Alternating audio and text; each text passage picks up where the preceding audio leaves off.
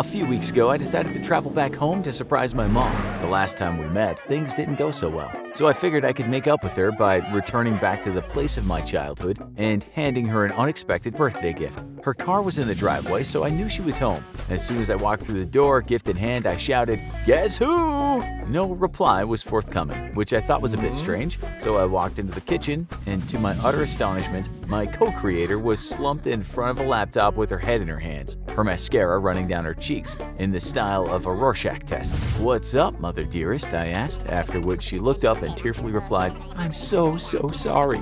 For what? I asked, feeling slightly concerned that she wasn't my biological mother. Swallowing painfully, her voice breaking, she cried, I, I, I vaccinated you. I stood there for a few seconds and made no effort to console her. I'm generally a loving, hands-on type of son, but I dreaded the thought of the discussion to come. Memories of our flat earth debate echoed around my head, and I didn't want to go through that kind of ordeal again. The gift that I'd brought her was a book called The Short History of Nearly Everything which is a sort of science 101 for curious dummies. I quickly abandoned that by the trash can. Walking around to where my mom was again, slouched, I bent down to see what she'd been consuming on the internet. The page was difficult to read seeing as there were so many pop-up ads, but I managed to see a piece of writing entitled, Everything the government has told you is wrong. Okay, mom, I said, we need to talk. I'll make some coffee, you can wash that mascara off your face. What scared me was that when she reappeared from the bathroom, there was a determined, dare I say it, ferocious look painted across her face. The woman had come to do battle, and I guessed my olive branch of a hot cup of coffee wasn't going to be enough to dampen her enthusiasm. So, Mom, what's the big problem? I asked, and now feeling a bit reluctant, handed over that coffee. The problem, she replied emphatically, is that I had you vaccinated when you were just a small child, an innocent, unknowing child whose blood I defiled and corrupted. Uh, okay, can you expand? She went over to a drawer and pulled out a binder from which she took some official looking medical papers. She showed me those mm. papers and I quickly went through them. So I see I've been vaccinated against smallpox, among other things, she said. And that's a problem? She picked the worst one first, of course, and talked about how she'd given me the smallpox vaccine when there wasn't really any need. The most dangerous vaccine in the world, she shouted. And I put that filth into you, my only son. Oh God, please forgive me. Okay, Mom, I said, listen to this. You're right about the smallpox vaccine being one of the worst out there, and I admit that out of around every 1 million people who got vaccinated, maybe one would die and 70 something others would get seriously sick. But from 1880 to 1980, about half a billion people died from smallpox. I'm glad you gave me the vaccine, even though I was one of the last people in the US to have done it mandatorily. I could have killed you, she intoned quietly. Yep, and you could have dropped me on my head, smothered me in your armpit, or given me free rein to explore the basement so I ended up eating rat poison or drinking Drano, but you took good care of me, and that included adhering to medical science facts when it came to the vaccines. Okay, humor me and tell me what good they've done, she said. I picked up that book that I'd bought her, and since I'd read it, I knew where to find the chapter on vaccines. I showed her the bit about the Spanish flu and how it killed something like 50 to 100 million people at the start of the 20th century. There were no flu vaccines back then, I told her, and dramatically lifting my arms in the air, I shouted, Praise the Lord, we have them now.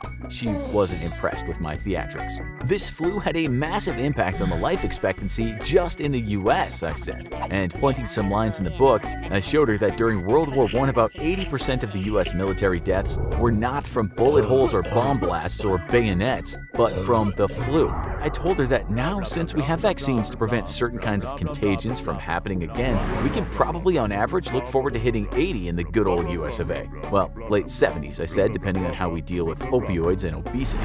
You're so brainwashed, she said. Just like the rest of them, I hate to say it, but I gave birth to an idiot. Ouch! If my answers frighten you, then you should cease asking scary questions, I told her, smiling because I had stolen that line from a Quentin Tarantino movie. She then got up and frantically ran around the kitchen, opening cupboard doors and swiping her finger on surfaces. Then with a huge grin on her face, she pointed at each heavily stocked level of the refrigerator. What do you see? she asked without waiting for an answer. You see clean, nutritious food. You see surfaces wiped with cleaning agents. You see everything that tells you the reason so many people died of disease back then was not vaccines, but the fact that a lot of people had poor living standards. The world has changed, and that's why there will be no repeat of the Spanish flu pandemic. I told her that there was a lot of truth in that, but vaccines have also helped. A case in point is the fact that the number of measles victims was profoundly reduced after the first measles vaccine of 1963. I told her that if you have that vaccine now, the chance of dying from measles is 0.01%. This has been proven to be an incredibly safe vaccine, I said, now feeling annoyed since she was sitting across from me with her arms folded, smirking. In the 1960s, about 3,000 Americans died from measles, and now the number is pretty much negligible to none. It used to kill millions around the world, and in fact, if you go back to 1980, over 4 million people died worldwide from measles. But in 2018, the number was about 140,000. And you know why, my dear life giver? Because of vaccines. She then picked up a piece of paper she had printed out, and on it was a photo of a young man with his doting mother. The word printed above the pair in bold was Vaccine Apocalypse. That woman claims that the measles vaccine gave her son autism. And you know what? She's not alone. And before you get smart, articles have been published in scientific literature about this fact. What do you have to say about that? I could see the woman grinding her teeth, which was worrying to say the least. This issue was so important to her that I imagine the stress related to her impregnable conviction would get her before any disease would. Have you taken your antipsychotic medicine? I asked. What medicine? The stuff you obviously need to be taking? She just glared at me. Sorry, I said, uh, just kidding. Okay, let me inform you that the article you're referring to was later retracted. I'm not saying that this kid you're showing me doesn't have autism, but the condition is neurodevelopmental and is generally influenced by genetics. Since that paper came out, anti-vaxxers have been waving it around like a flag at the disease Olympics, but numerous, and I mean numerous studies have shown the connection to be indubitably, incontestably, unchangeably wrong.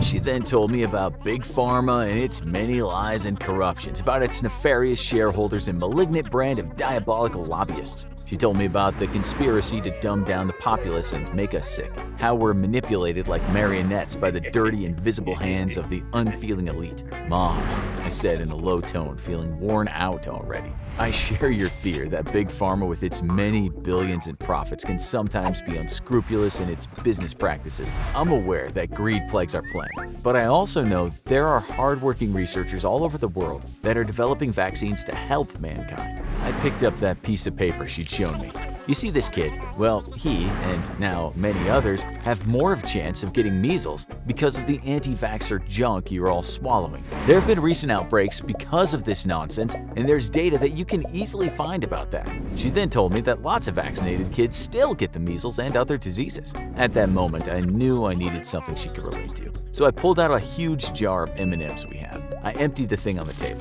From the whole, I separated about five pieces. Okay, Mom, so these five candies represent unvaccinated kids in this school, and the rest of the bunch are vaccinated. Let's say there's a huge outbreak and everyone is susceptible. Now, those five kids without the vaccine got infected, but since not every kid responds to the vaccine, about 12 vaccinated kids got it.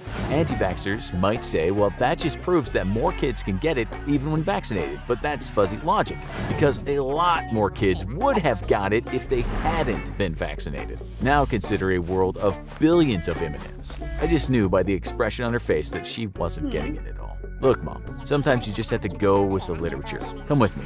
I take her out to the garden and give her a cliched lecture which I hope will allay her anger and fear. The sun is shining, the grass is green, Look around you and see this wonderful thing we call nature. You have to get out of your head and enjoy life. Sure, it's alluring to think a big bad brother is pulling strings and is warring against the common man, but this line of thinking is going to drive you crazy. I thought that might have done the trick, but then she surprised me and pulled out a picture of a baby and shoved it in my face. This blocked the sun for a second, giving my metaphor some amount of credence. That's baby Gregory, she said. He died an infant soon after being vaccinated for diphtheria, tetanus, pertussis. How do you explain that, oh so smart son of mine? For a moment, I felt like pushing her in the fish pond that my dad built before he took off. Mom, correlation does not imply causation. Of course, a bunch of kids are going to die in their infancy, but that just happens, regardless of if they've been vaccinated. Deaths that can be linked directly to vaccination are so rare, there isn't even mm-hmm. any data. Sure, a kid might get sick after a vaccination, but he might have gotten sick anyway.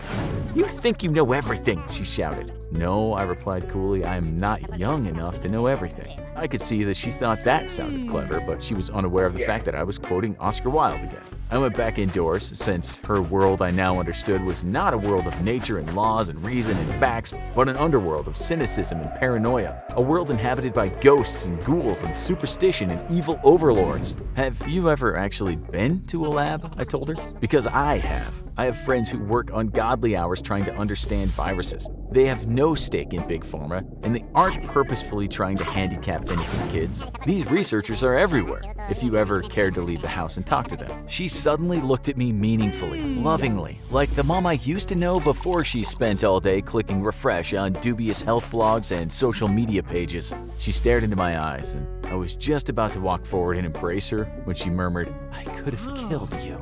Mom, you gave me life, and you protected me, and I am grateful for that. You vaccinated me and cared for me, and I'm also grateful for that. Thank you. I love you. Things calmed down after this confession, and as a kind of peace offering, I told her I'd cook her her favorite meal for both of us, a delicacy for which I'd picked up the ingredients at the city's new international imported food market.